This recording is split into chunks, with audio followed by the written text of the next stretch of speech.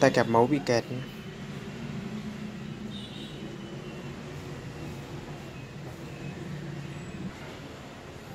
ốc bị dị à.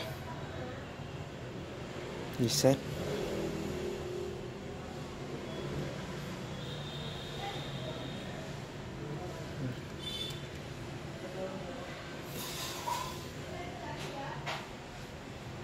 cái tấm công tắc và chiếc ra là bông nó luôn.